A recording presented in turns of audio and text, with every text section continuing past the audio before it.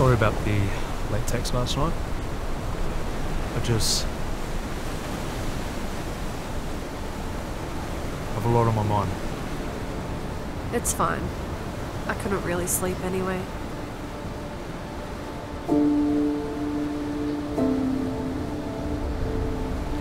So,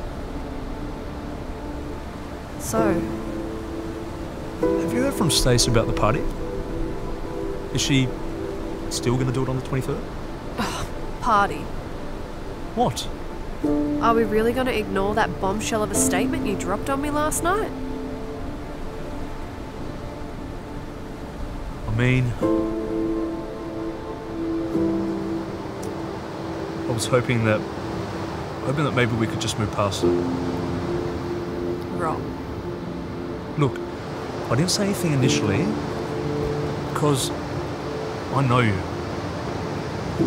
And I knew for a fact that this, this was going to make you spiral. You don't need this kind of stress in your life right now. That's not your choice to make. It is. It is when I know that you're the one that's going to be holding all the broken pieces in the end. I don't want that for you.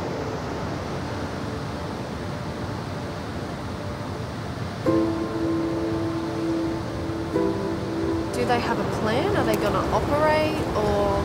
Damn right, there's a plan. They're optimistic. I'm young. Um, they found it early.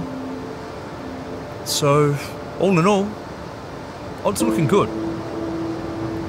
The key thing is, is not to stress.